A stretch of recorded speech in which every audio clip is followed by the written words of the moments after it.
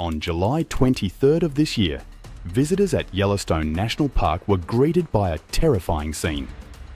They witnessed a sudden hydrothermal explosion which flung steam, rock and mud tens of feet into the air, with the incident creating widespread panic as the guests ran for safety.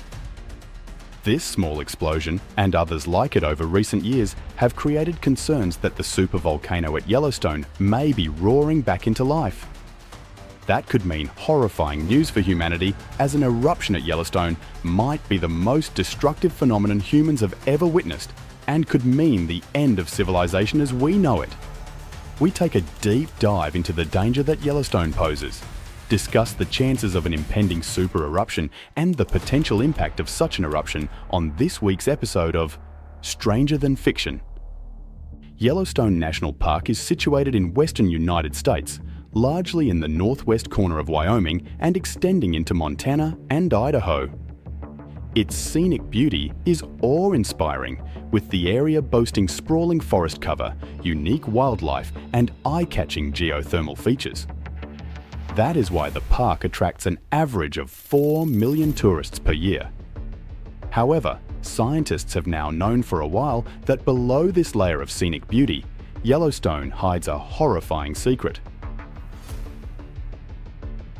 The place is home to one of the very few supervolcanoes in the world, which has a history of unimaginably large eruptions that have repeatedly altered the course of our whole planet. And the really scary part is that we might be due one now. So, what are supervolcanoes? A supervolcano has an eruption with a volcanic explosivity index of 8, the largest recorded value on the index. When they erupt, they eject more than 1,000 cubic kilometres of debris into the air, not only decimating everything for hundreds of miles, but also sending temperatures around the globe plummeting for many years, causing unthinkable devastation. The volcanic explosivity index is much like the Richter scale, used to measure earthquakes. With each subsequent unit representing an explosion 10 times stronger than the previous one. In other words, an explosivity index of 5 represents an explosion 10 times stronger than an explosivity index of 4. The famous Mount Vesuvius explosion in 79 AD, which completely destroyed Pompeii and Herculaneum, had a magnitude of 5 in the VEI, the same as the devastating Mount St. Helens eruption in 1980 the 1991 eruption of Pinatubo in the Philippines, which was one of the largest in living memory, sending ash and debris 35 kilometers into the air, ranked just 6 on the VEI. That means a super eruption of Yellowstone would be 100 times as powerful as Pinatubo and a whopping 1,000 times more powerful than both Mount St. Helens and Mount Vesuvius, which just boggles the mind. A magnitude 8 eruption is almost unimaginable to humans as no one has seen a supervolcano erupt for many generations. In fact, the most recent super eruption was that of New Zealand's Taupo volcano, which occurred around 26,500 years ago. That explosion was so powerful that the fragmented material from that eruption covered much of New Zealand's North Island with deposits of up to 200 metres or 660 feet. The super eruption of Lake Toba in Indonesia, which happened 74,000 years ago, was even more deadly, with many believing it to be the largest eruption on Earth in the last 25 million years. Some scientists even think that the eruption almost wiped humanity off the face of the Earth, killing most of the humans living on the planet at the time and reducing the population of the planet to just a few thousand individuals. While this theory has been disputed by others, there is no doubt about the humongous scale of this event, with ash deposits from the Toba eruptions discovered as far away as Lake Malawi in East Africa. So, you might now be wondering why supervolcano eruptions are so much more powerful than regular volcanoes. The answer to that question lies in their structure below the surface. In a typical volcano, before an eruption, molten rock, called magma, collects in a chamber below the surface and pressure builds until the magma eventually erupts through the crater as lava.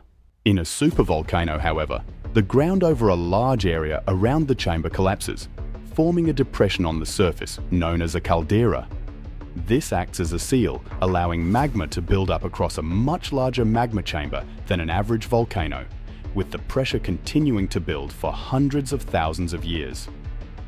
Eventually, the pressure reaches a critical mass before it explodes, making a massive hole in the Earth's crust. The caldera of a supervolcano tends to be so big that they are sometimes only visible from the air, and that is exactly the case with Yellowstone, with the volcano's caldera measuring an unbelievable 43 miles long and 28 miles wide, or 70 kilometers by 45 kilometers. Recently, scientists have studied the volcano closely and mapped its underground plumbing and the scale of it is quite shocking right beneath the caldera, which was created during its last eruption 640,000 years ago, sits an enormous magma chamber and it is fed by an even more gigantic plume of magma stretching down over 400 miles deep. Viewer discretion is advised as we go into the next part of this video, where we discuss the kind of widespread obliteration that will be caused if Yellowstone erupts with a super eruption if such an eruption were to occur, it would be the most fearsome explosion that any of us would have experienced, potentially being up to 1,000 times more powerful than the atomic bomb that devastated Hiroshima. Gas, ash, magma, and rock would be flung all the way up to Earth's stratosphere within seconds. The shockwave from this explosion will be unimaginable, producing some of the loudest sounds ever recorded being audible many thousands of miles away. The shockwaves would travel at the speed of sound, potentially rounding the globe multiple times. The superheated rocks and hash flung into the atmosphere would then fall back onto the Earth as hundreds of thousands of dangerous volcanic bombs, annihilating the surrounding areas. The areas near the blast site will be obliterated almost instantly with devastating pyroclastic flows exceeding temperatures of 700 degrees Celsius, racing along at a speed of over 100 kilometers per hour and wiping out everything in its path. Unfortunately, this would just be the start of the damage, with the worst still yet to come. Over the subsequent minutes and hours, clouds of ash and toxic gas would spread over a huge area of thousands of kilometres, shrouding the surrounding areas in darkness. Some experts even think that the material ejected from the volcano may be carried by the wind across the entirety of the continental United States. Hot ash will fall from the sky like snow and disrupt communication lines and travel infrastructure, while also ruining many thousands of acres of farmland across the country. Very soon after the blast, large parts of the US might be rendered completely uninhabitable. Some scientists project that the initial blast and pyroclastic flows might kill hundreds of thousands, while potentially millions could suffocate due to clouds of ash and toxic material that engulf huge areas. If you're thinking you might be safe because you live on the other side of the world, think again a super explosion of Yellowstone would eject so much material into the Earth's atmosphere that the planet's ecosystem and climate would be severely impacted for many years to come. We now know that previous supervolcano eruptions have triggered major global cooling episodes, leading to what is called a volcanic winter, where temperatures plummet across the planet, leading to the collapse of entire food chains and potentially to a prolonged famine. Bear in mind that we still have not even discussed the second order consequences, such as the collapse of the global economy and supply chains, which would undoubtedly wreak havoc in the interconnected world we live in, leading to a breakdown of social order and causing tremendous suffering. While humanity would likely avoid a complete extinction, civilization could potentially be set back by hundreds or even thousands of years. I am sure the question on your minds now is how likely is such a super eruption? Well, to get an answer to that question, we need to investigate the history of Yellowstone to deduce the frequency with which such eruptions occur. We now know that eruptions of the scale we are talking about have occurred three times in Yellowstone's history. 2.1 million years ago, 1.3 million years ago, and 640,000 years ago. That means that there has been a massive eruption every 700,000 years on average, which is not good news for us because it means that we might be due one soon. However, before you have a nervous breakdown or a panic attack, just know that the numbers are still very much in our favour. The probability of a super explosion in our lifetime, or even for the next 1,000 years, is quite minimal. Many experts do not think that the recent hydrothermal explosions at Yellowstone are an indicator that a volcanic eruption is brewing. Most volcanologists believe that before a super explosion, there will be plenty of clues and signs of impending doom. Some think that there could even be decades of warning signs before the volcano blows, including multiple large earthquakes, a change in the chemicals in the hot springs, and potentially even the ground bulging and shifting tens of feet, none of which is happening in Yellowstone at the minute.